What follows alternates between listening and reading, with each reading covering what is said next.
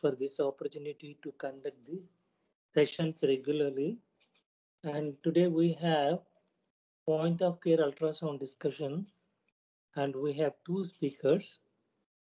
Uh, they will be uh, telling us about the focus and we are looking forward to this session. Can you start, Sushruti and Maithriye?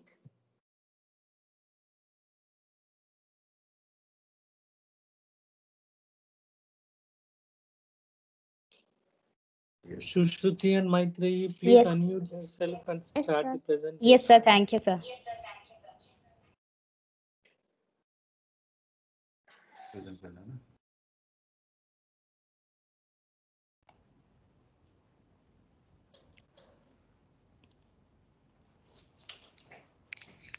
A very good, uh, a very good, good evening to all of you. So this is Dr. Sushrita presenting point of care ultrasound for the cardiothoracic anesthesiologist. So what is point of care ultrasound? It is a valuable bedside diagnostic tool for a variety of expeditious clinical assessment or as guidance for a multitude of acute care procedures. With the increasing availability of affordable ultrasound systems, focus may be referred as the 21st century stethoscope. This following narrative review presents a broad discussion of the utility of POCUS, that is point of care ultrasound, for cardiothoracic anesthesia in various perioperative contexts like preoperative clinic and uh, op- operating room and intensive care unit as well. And furthermore, focus related education, competence, and certification are addressed. So I will quote this article. It is a review article, point of care ultrasound for cardiothoracic anesthesiologist. It is published in Elsevier, Journal of Cardiothoracic and Vascular Anesthesia. So some common point of care ultrasound applications are in airway focus, we uh, identify structures of like uh, cricothyroid membrane and trachea for cricothyroidotomy or for endotracheal intubation. In breathing focus, we identify pleural lung diaphragm in ultrasound to diagnose conditions like pneumothorax, lung parenchymal diseases, effusion, and edema. As well in circulatory focus, uh, we assess LV function, RV function, pericardium, aorta, aortic arch to see for myocardial ischemia, tamponade, or aneurysm and dissection. And similarly, in gastric ultrasound, we can assess antrum for gastric volume and contents. In vascular ultrasound, we can see veins and arteries for peripheral or central venous cannulation and artery, uh, artery focus for invasive monitoring and IVP insertion. And vessel access ultrasound scan can be used for fluid overload assessment and deep vein ultrasound can be done for DVT scan. So coming to airway ultrasound, Airway ultrasound is useful in identification of cricothyroid membrane for cricothyroidotomy in difficult airway, for pre-procedural identification of tracheal rings, and any aberrant blood vessels for a safe placement of percutaneous tracheostomy. Christensen et al. demonstrated in a study identification of cricothyroid membrane by ultrasound had a higher success rate and uh, focus of airway can be used for performing airway blocks in awake fiber optic intubation and it confirms correct endotracheal tube placement as well it discerns between esophag- esophageal and endotracheal intubation so in endotracheal tube confirmation in uh, airway ultrasound we'll see for bullet sign that is the single air mucosal interface with increased posterior artifact shadowing in case of inadvertent uh, esophageal tube placement, a double track sign will be seen. That is, uh, side by side, we can see trachea and uh, ET tube in esophagus. With endotracheal intubation, uh, uh, presence of bilateral lung sliding will be additionally present with uh, single bullet sign and esophageal intubation, bilateral lung slide, sliding will be absent. In a systemic review by Das et al. found that airway ultrasound had a pooled sensitivity of 0.98 in confirming endotracheal intubation, as well a meta-analysis by Gottlieb et al. It proved transtracheal ultrasonography has a higher specificity and higher sensitivity in confirming endotracheal intubation with mean time to confirmation of 13 seconds. Airway ultrasound can be used for a reliable adjunct during endotracheal intubation in cardio, cardiac arrest situations where end tidal carbon dioxide stays very low. The distance of epiglottis to vocal cord space was found to be better predictor of difficult laryngoscopy as compared to hyomental distance in airway ultrasound. Airway ultrasound can be used for application of cricoid pressure during rapid sequencing induction. Next, coming to lung ultrasound. Lung ultrasound involves study of air fluid interfaces in lungs as well as the interpretation of ultrasound artifacts. The chest wall is preferably scanned using a low frequency of 3 to 5 megahertz convex probe. All the intercostal spaces are scanned and pleural line components can be discerned into visceral and pleural space and parietal pleura using high resolution probes that is 5 to 17 megahertz.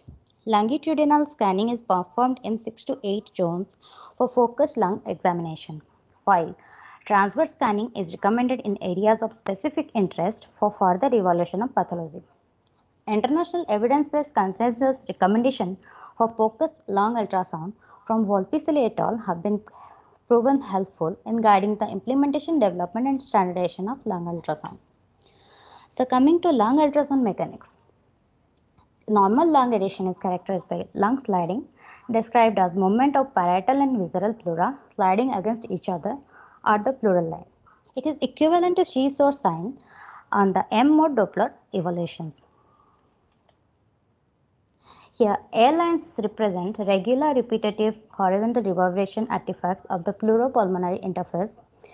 These, these are seen in healthy individuals' lung and uh, the healthy individual lung containing A line A lines in lungs ultrasound is called as a profile lung ultrasound. Pneumothorax diagnosis can be called as A dash profile and it is based on three straightforward criteria. That is no lung sliding. Second is no b lines b lines represent interlobular septa arising from the pleural line and can only be seen if pleural line is visible. The pleural line is not visible in pneumothorax therefore presence of b line rules out pneumothorax third is identification of lung point lung point defined as appearance or disappearance of lung sliding with respiration at a particular point. It is equivalent to M mode stratos stratosphere or barcode sign. It is reported to having a high sensitivity and specificity, highest specificity that is 100% for the diagnosis of pneumothorax. B lines appear as comet-tail artifacts perpendicular to the pleural surface.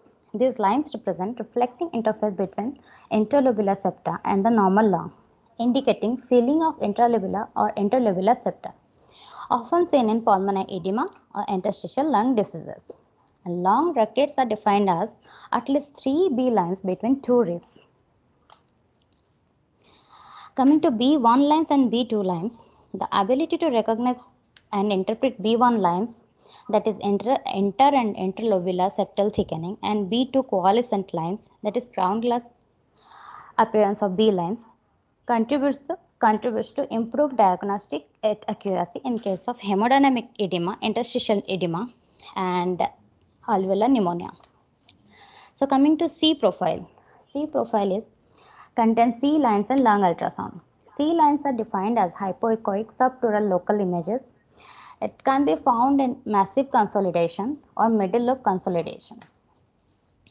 Coming to E lines and Z lines, these are called as false B lines. And E lines uh, are seen in subcutaneous emphysema lung ultrasound, and Z lines are common artifacts seen in 80% of the population. So coming to posterior lateral alveolar pleural syndrome, that is PLAPS point, it is the lowest point in the lung that, that should be investigated to rule out pleural effusion or consolidation. And one more point is normally the spine above diaphragm is not visible. However, if pleural effusion is there, the spine is visible through the fluid and it is referred as spine sign.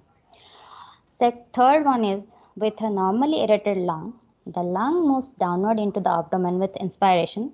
It is called as curtain sign. So in the presence of pleural effusion, this curtain sign will be absent. This is an algorithm of lung pathology using lung ultrasound. First, we'll see for lung sliding. If it is present, then we'll go for A lines pattern. A lines pattern present, then we'll go for DVT scan. If B lines pattern present, then we'll uh, diagnose it as a pulmonary edema. And if lung sliding is absent, we'll see for B lines pattern. If B lines pattern present, it is pneumonia. If A lines pattern present, then, we'll see for lung point. Lung point present, then we'll diagnose it as pneumothorax. If lung point absent, it needs further investigation. So diagnosis of lung disease based on lung ultrasound.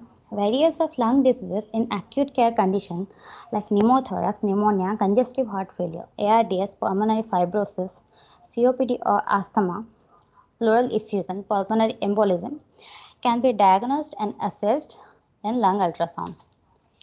Lung ultrasound versus other imaging modalities. Lung ultrasound offers unique advantages over CT that is computer tomography as it is portable, reproducible, low cost, low risk and highest accuracy and poses no other radiational effects.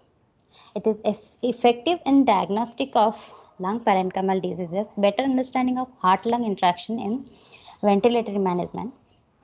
And lung ultrasound can be used to diagnose pneumothorax with a better sensitivity and specificity than chest X-ray, as evident from meta-analysis by Ding et al. Lung ultrasound is efficacious in diagnosis of pulmonary edema as established by Mo et al. A meta-analysis by Al Deeb et al. demonstrated the sensitivity of lung ultrasound B lines. As well, Platz et al. demonstrated the use of B lines can be used with lung ultrasound for prognosis of heart failure therapy. Lichtenstein et al. incorporated lung ultrasound into emergency blue protocol that is bedside lung ultrasound in emergency condition for the diagnosis of acute respiratory failure and falls that is fluid administration limited by lung ultrasound protocol for the management of acute circulatory failure. So here it shows accuracy of lung ultrasound in critical ill conditions in compared to computer tomography. It is having highest sensitivity, sensitivity in complete pneumothorax diagnosis and highest specificity and diagnosis of occult pneumothorax. So uh, coming to ultrasound scanning protocols, some of the current lung ultrasound protocols are indicated for management of patients with acute conditions. First one is blue protocol, that is bedside lung ultrasonography in emergency. It is an emergency protocol for immediate diagnosis of acute respiratory failure.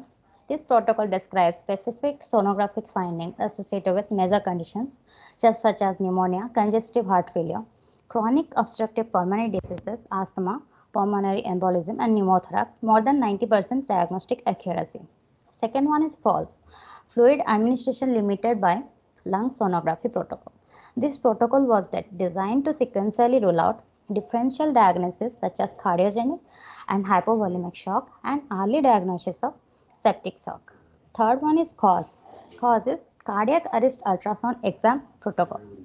This protocol def definitely normalizes the use of ultrasonography in, in case of cardiac arrest management. Its value in detecting electromechanical dissociation are emphasized. Thank you.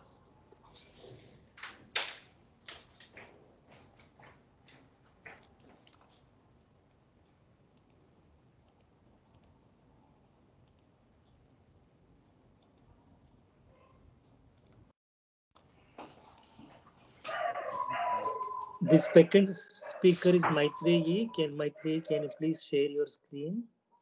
Ah, yes, sir.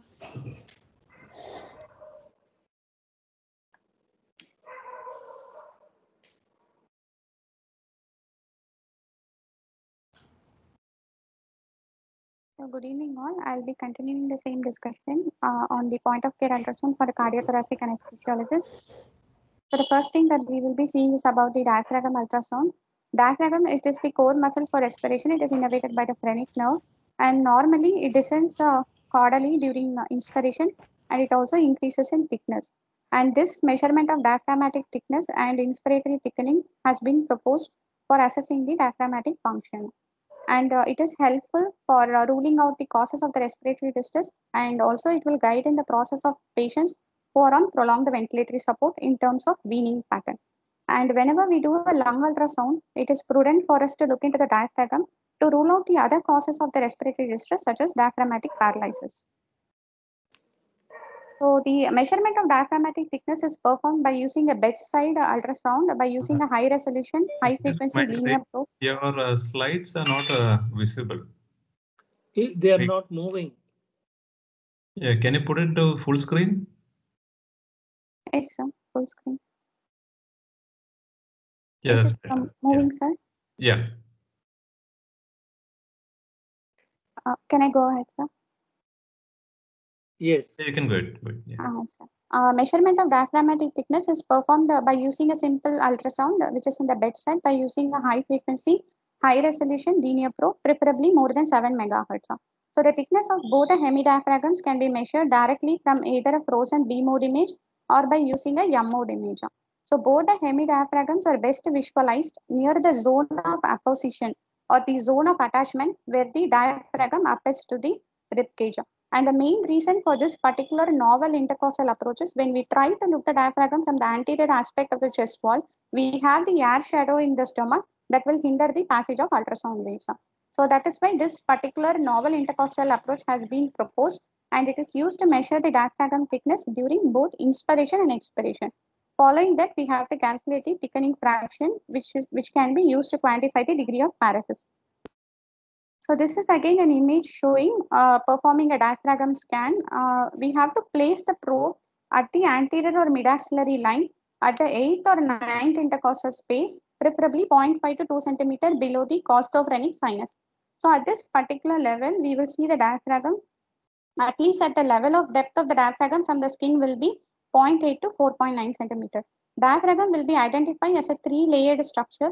The above uh, hyperechoic line is the uh, pleural membrane and the below is the peritoneal membrane.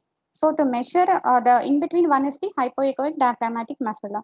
So to measure the uh, diaphragmatic thickness, we have to take the middle point of the pleural membrane. It can be measured uh, from the middle of the pleural membrane to the middle of the peritoneal membrane. The measurement can be done either from the inner edge to inner edge or from the outer edge to outer edge. So the normal diaphragmatic thickness uh, during the end of expiration is about 1.6 to 1.7 centimeter in adult population and uh, during deep inspiration it will be 5 to 6 centimeter. So this is again the image of the B mode uh, uh, diaphragm ultrasound at various time that is the end expiration, end inspiration and deep inspiration. So to calculate a thickening fraction, we have to deduct the end expiration value from the deep inspiration divided by end expiration. That is 4.4 minus 2.6 divided by 2.6, which will be almost 70% in this, uh, according to this image. So the normal thickening fraction, which is useful for the ventilatory management is about 30 to 96%. So this thickening fraction will not only quantify the degree of paresis, but it will also guide in the extubation. And according to the authors, if the optimal cutoff value of thickening fraction, if it is more than 30%, then the extubation will be successful. So this is the M mode of the diaphragm ultrasound. So M mode is somewhat superior to the B mode because it will display the changes in the diaphragm thickness during the respiratory cycle. As you can see, the measurement of thickness at the end of expiration is somewhat thinned out and during the end of inspiration, it gets thickened up. So the next thing that we will be seeing is about the focused cardiac ultrasound. So focus is nothing but performing a focused transthoracic echo by using a low frequency cardiac phased array probe. It is typically done whenever we uh, have a patient who is hemodynamically unstable and it is mainly useful to evaluate the global as well as the regional function of both the left ventricle and the right ventricle. Other than that, it is also used to assess the valve function and also to identify the presence of any hemodynamically unstable condition such as a massive pericardial effusion and a cardiac tamponade. So focus is something like a goal directed and a problem oriented. It is uh, a very simple bedside evaluation uh, uh, point of care technique which is usually performed by the uh, uh, by the post-op clinicians in order to detect the problem. So in 2013, uh, American Society of Echocardiography published a few recommendations in terms of focused cardiac ultrasound. So they underline that what we see in the focus is not definitive and it should be always correlated with the other bedside information in order to form an initial diagnostic impression. And, uh, and other than that, we also have to look into other alternative imaging and diagnostic modalities. In other words, focus is an addition to the physical examination.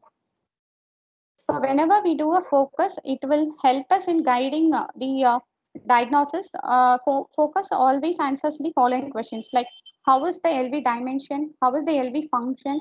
How is the RV systolic function? What is the volume status?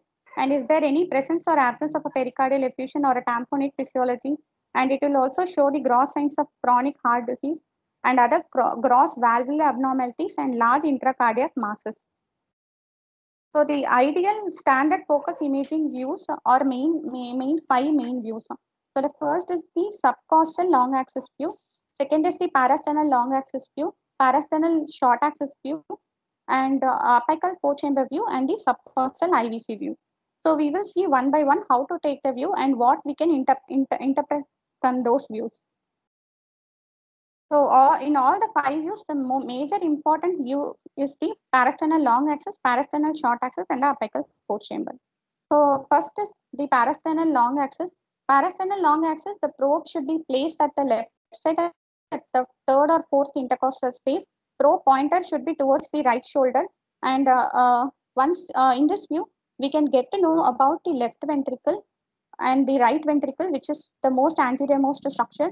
And we can also simultaneously look into the aorta and the mitral. Both the aorta and the mitral will be look uh, will be seen in the same view. And also we can see a hyperechoic structure, which is the pericardium here, and uh, the uh, left ventricle, anterior septum, and the inferolateral wall can be seen here. So in this uh, particular image, we can rule out myocardial infarction. We can see the left ventricular uh, dysfunction, hypertrophic obstructive cardiomyopathy or hypertrophied uh, ventricles. The pericardial effusions can be seen, and signs of congestive heart failure can be also seen. So this is a video of the same, uh, that is the parasternal long axis view. Here we can see a hypertrophied uh, ventricle and we can also see a systolic anterior motion of the mitral valve. So the next is the parasternal short axis view. The same parasternal long axis view, if we tilt the probe uh, marker towards the left shoulder, we can get this view. We have to rotate the probe 90 degrees. And uh, in this view, uh, other than the left ventricle, we can also get uh, the uh, other uh, structures when we slightly tilt the probe above and below. When we tilt the probe below, we can get the apical level left ventricle. And we can also look into the papillary muscles when we are slightly tilting it above and mitral valve. And we can also look into the other structures that is the aorta and the RVOT opening into the pulmonary arteries. So these structures can be, we can visualize by slightly tilting the probe from below and above. So this view, it is one of the uh, useful view to assess the wall motion abnormalities of the left ventricle. So this is again the image showing the parasternal short axis view. As we can see, there is a uh, subtle uh, left ventricle wall motion abnormality. So this next view is the apical four chamber view. Apical four chamber view, uh, we have to move the probe from the upside, that is from the parasternal side into the apex, below the apex. The probe marker should be towards the left side of the patient and uh, we have to make sure that the patient is in the left lateral comfortably in order to get an optimized view. So in fourth chamber, we can have a nicely opened up LV and we can also see right ventricle, right atrium and the left ventricle and both the mitral and the tricuspid valves. So in this view, we can look into the global function of the LV and we can also look into the valves as well as presence or absence of any pericardial effusions. This view, it is helpful for, for us to ru uh, ruling out any pericardial, uh, any pulmonary embolia also we can rule out or pericardial effusions and also myocardial infarction. So this is an apical four chamber view.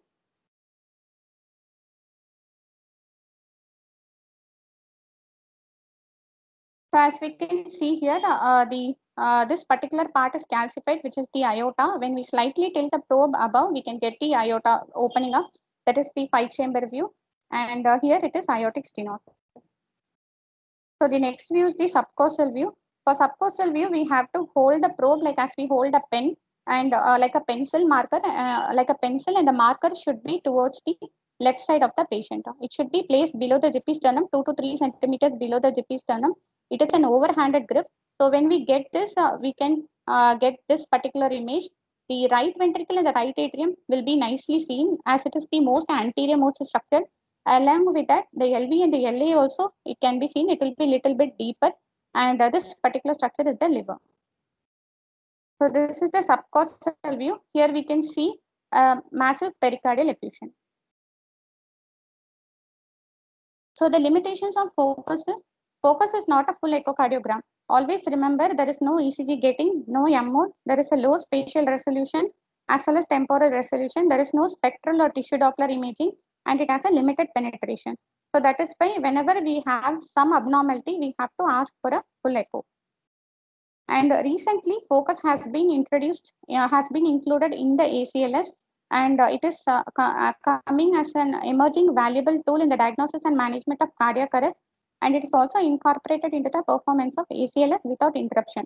And uh, the best view to get this is the subcostal view. And uh, whenever we are trying to interrupt the CPR for looking for either for intubation or looking for any rhythm, we can just do a subcostal view within 10 seconds and we can get the uh, image and we can uh, diagnose through that image. And the focus investment in ACLS has been found to have some improval, uh, improved survival in patients who are having ROSC. And the focus also enables clinicians to diagnose potentially treatable and reversible causes, that is the 5H and the 5Ts. And not only it will diagnose, but it will also guide us in further therapeutic interventions. So the next thing that we will be seeing is about the vascular ultrasound. Ultrasound in vessel imaging, it is mainly used to establish the lines and uh, it is also used for assessing the uh, fluid status. So in terms of fluid status, we have to take a subcostal IVC view. In that, we have to look into the IVC diameter and IVC diameter and respiratory variation and also the IVC collapsibility index. So these all will give an estimation about the right atrial pressure, which in turn tell about the preload and the fluid status. So other than that, we can also, uh, there is a new upcoming modality called as a carotid flow time. So this is also a non-invasive assessment of fluid responsiveness. So just a bedside, we have to look into the carotid Doppler and we have to assess the changes in the carotid flow. So this is mainly used in case of shock states. And uh, now recently it is considered as a surrogate for cardiac output. So the other utilization of the ultrasound is by using a linear uh, ultrasound probe, we can rule out the DVT or assess the uh, presence of DVT. So for uh, ruling out the DVT, we have to do something called as a two-point compression. So this is a very simple bedside measure. It can be done within uh, five minutes. Uh, so five major vasculature bifurcation in the bilateral lower extremities have to be visualized. So the first point where we will do the compression is at the level of common femoral vessels. So we have to compress the common femoral vein at the level of at the uh, takeoff of uh, saphenous vein. Along with it, we have to see the superficial femoral vein and deep femoral vein. The other point that we, we have to compress is at the level of popliteal vessel. We have to compress the popliteal vein at the takeoff of anterior tibial vein. So once we compress and release, if the compressibility is present, then it indicates that the vessel is patent and there is no DVT. And along with the uh, two-point compression, we also have to look, look a focused right ventricle function and also lung ultrasound to rule out any pulmonary emboli. So this is again a video showing how to perform a subcostal view, IVC view. So here as you can see, the IVC uh, is grossly dilated and along with IVC, we can also see one more vessel that is the hepatic vein. Both the vessels are draining into the right atrium. So uh, by seeing only, we can tell the IVC will be almost more than two centimeter. So whenever we confront with such a situation, when the IVC is more than 2 centimeter, we should also look into the other vessels uh, such as hepatic vein, portal vein, and intrarenal venous. So this is mainly done to quantify the systemic congestion and its effect on the renal dysfunction in post-cardiac surgical patients. So this, but to do this, a particular system called as a venous excess ultrasound grading system has been proposed. It is proposed by Souligny et al. So he uh, uh, this, but he proposed this uh, VExUS scoring system. It is basically a grading system. Uh, it's like a prototype combining IVC diameter, hepatic vein Doppler, portal vein Doppler, and intrarenal venous Doppler. So normally in hepatic vein Doppler, when we do, there will be a systolic wave and diastolic wave. In abnormal condition, the S will be lesser than the D. And in severely abnormal situation, the uh, S will be, uh, flow reversal will be present. That is the flow will be towards the heart. In case of portal vein, in case of mildly abnormal situation, the uh, variations in the velocities will be seen uh, at least 30 to 50% of the cardiac cycle. And in severe, uh, severely abnormal situation, it will be more than 50%. And in case of intrarenal venous Doppler, as uh, the systemic congestion and over circulation happens, the uh, systolic wave will be absent and there will be only diastolic phase will be seen during the cardiac cycle. So this particular VExUS scoring system not only help us uh, to rule out the systemic congestion, but it will also guide us to uh, for the patients to give some fluids or to start any inotrope or vasodilators as well as diuretic management. So this VExUS scoring system should be done along with the RVOT velocity time integral. When we do this, uh, the combined value will enable, uh, the combined value will help us uh, ruling out the global evaluation of the uh, right ventricle function. So the other uses of ultrasound in the post-op is to give blocks. So block is always a part of a multimodal pain management.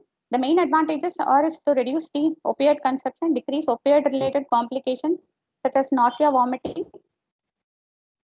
It help enable the patient to mobilize early, that is fast tracking. It is cost effective, uh, reducing the ICU stay and ventilatory support, and patient satisfaction will be also higher.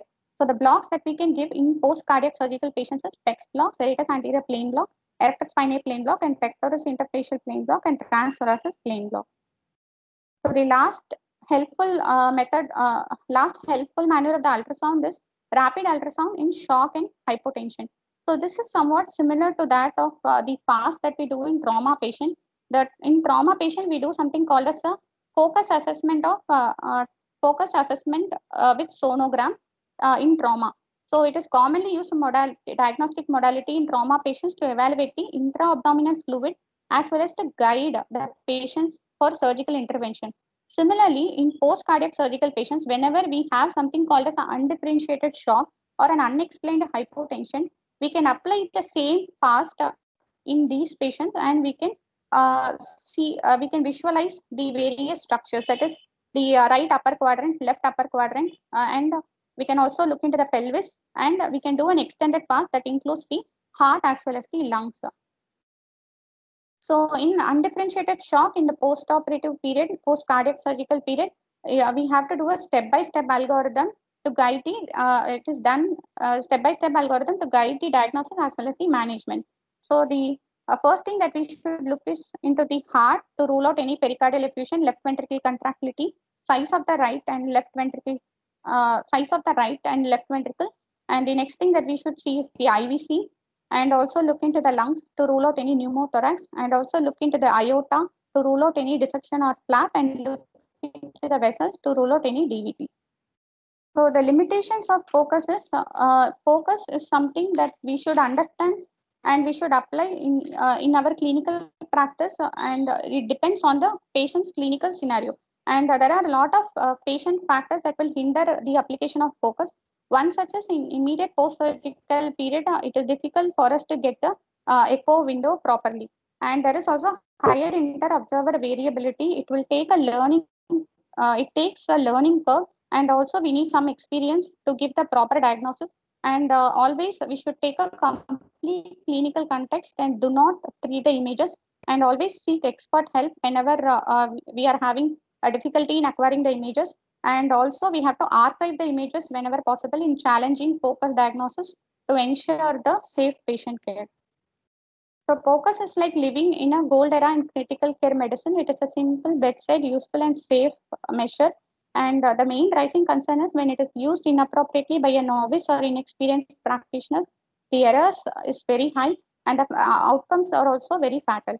So it, uh, always adequate training is necessary as well as adherence to the established competencies and well prepared for the possibilities of the interpretation should be done. Thank you.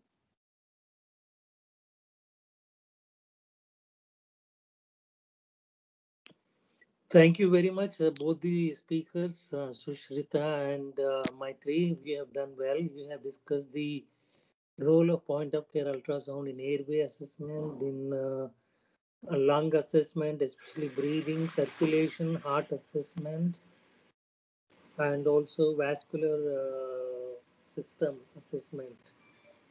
So the topic is open and uh, anybody wants to ask any question. I think there is one question here. I'll just go through it. What what is the probe placement for pneumothorax? Maitri, what is the probe placement for pneumothorax is the question.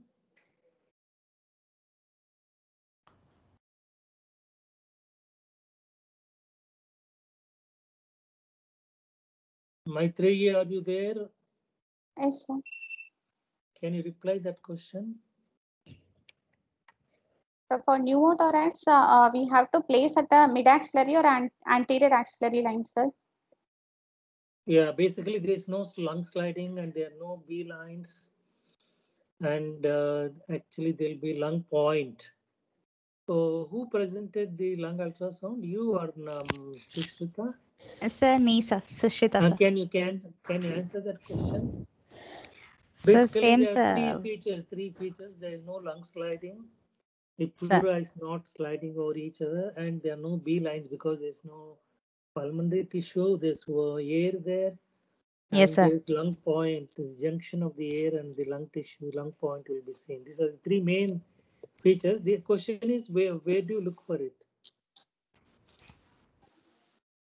Uh, can I try answering that, sir? Yeah, yeah, absolutely. If you uh, have a patient in uh, supine or uh, slightly uh, uh, reclined, uh, say with a little head up position, uh, the most non-dependent uh, area will be the place where the air will collect. Correct, correct. And uh, it, if it is a minimal uh, uh, pneumothorax, um, it will be uh, towards the um, Mr. lateral uh, part of the chest, uh, in the lateral part. And if there's a massive pneumothorax, it will uh, extend up to the um, mediastinum, towards the midline. So uh, you have to see which position the patient is. In case the patient is lying supine, uh, the most non-dependent area that is towards the apex of the lung or the upper portion, that, that is where the air will collect.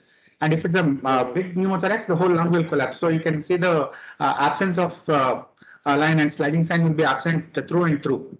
In case it is a small uh, uh, area which is involved, uh, the mid portion, towards the midline, uh, uh, there will be some air collected and the signs will be ob- uh, obvious. But if you, uh, as you come laterally, you will see the lung uh, and uh, this uh, sliding sign will reappear. What happens if the patient is in prone position? I think it will be same, like the uppermost portion, uh, if it is a little head up, again towards the upper portion, the air will be uh, present and that is the place where it will be absent. And same thing with the lateral, uh, this thing as well. But uh, the uh, classical description is uh, supine with slight head up. So uh, towards the apex of the lung will, the air will be collecting. You should look towards the apex. The upper medial aspect is where you should look for if you're suspecting a small amount of pneumothorax. Yes, thank you, Ratan, for that additional point. Uh, anybody wants to comment or ask any questions, please feel free. Ratan is there, Anup is there, so uh, Prabhu Shankar is there. We're all, we will supplement each other and answer your questions. I have uh, one more question. Like we were talking about the diaphragmatic uh, thickness fraction. Uh, did we mention about the excursion of the diaphragm? Maitri, did you mention about excursion? That's also very vital point.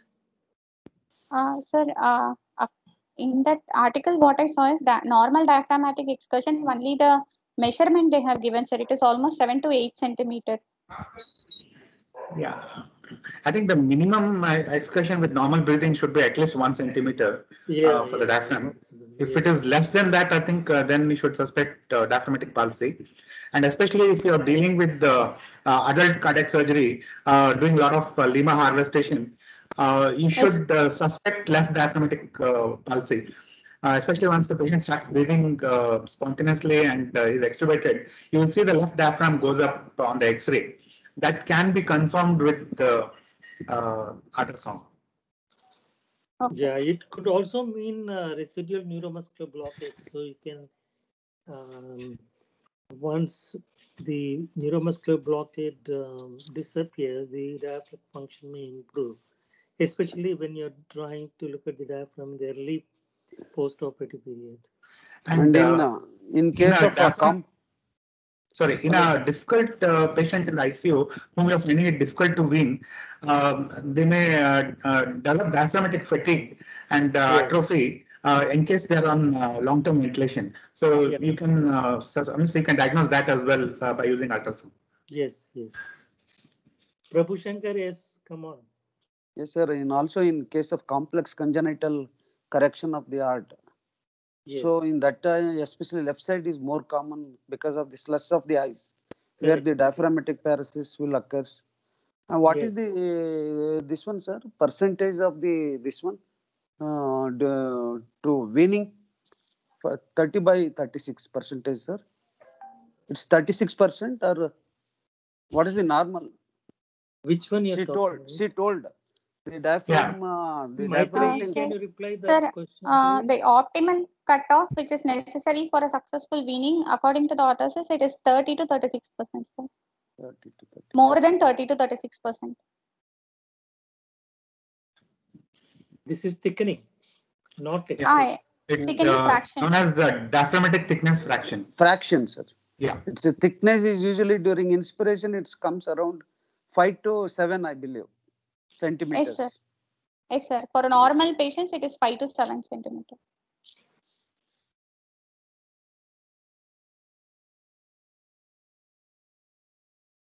Anup, any comments from your side? How does, uh, how you can measure the ICP and also by using the ultrasound? Hello, sir? I- ICP, you, you have to do the uh, optic, um, Measuring the other factors? Like, uh, Optic nerve sheath diameter we can use, sir. no, no, Optic our- nerve sheath diameter. yeah, Ratan, can you expand that, please? Um, I think uh, the nerve sheath uh, thickness is measured and uh, that can give some idea about the um, what is happening in intracranial, whether the pressure has gone up. Uh, I'm not sure about the details, but uh, uh, on the optic nerve sheath, you measure the diameter and uh, based on the uh, this thing, there is algorithm. Based on that, you decide what is the intracranial pressures. Uh, yeah, so basically, if you if you can measure the diameter of optic nerve, and if it is more than five millimeters, it indicates that there is a raised ICP. So that's how we monitor uh, ICP using ultrasound. So that is a clear indication of uh, uh, non-invasive method of uh, monitoring raised ICP. Uh, so uh, good evening all. So uh, just uh, a few comments from my side. Uh, so basically, we selected this topic because uh, point of care ultrasound is coming up in a big way. And for all the budding uh, cardiac anesthesiologists, it is very imperative to be to gain proficiency and develop skills in point of care ultrasound. So as both the speakers have nicely elucidated the various uses. So basically, the ultrasound machine, especially the uh, when we are having many uh, companies are coming out with handheld uh, machines, so they are going to replace the stethoscope from yesteryears. So, and uh, this ultrasound machine is going to be used not only for uh, monitoring, it is also being used as a thera- therapeutic modality for monitoring therapy and also for diagnosis.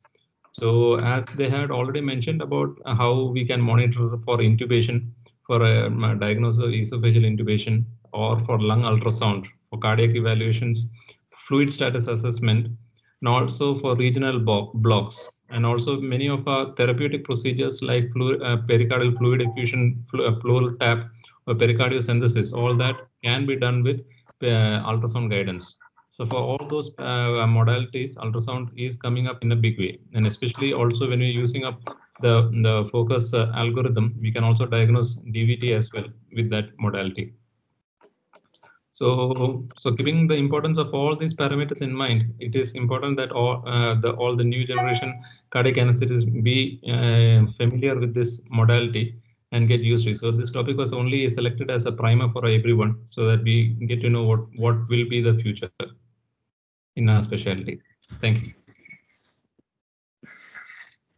Uh, and uh, in this COVID season, the ultrasound also has a very, very important role to identify the uh, lung lesions, especially what we see is absence of uh, um, Commonly, you see uh, B lines and patchy consolidation.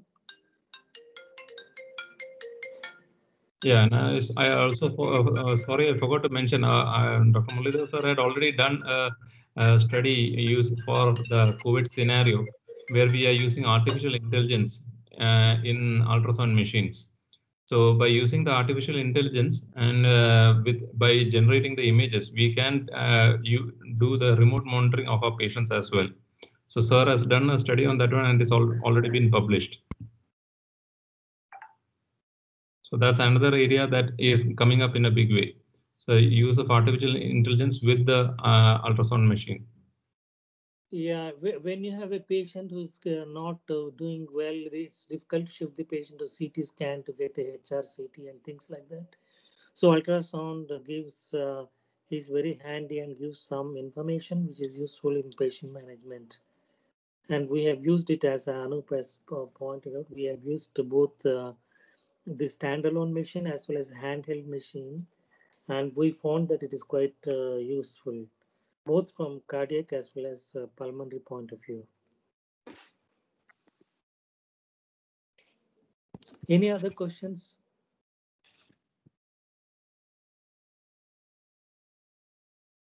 If there are no questions, I'll uh, conclude this session.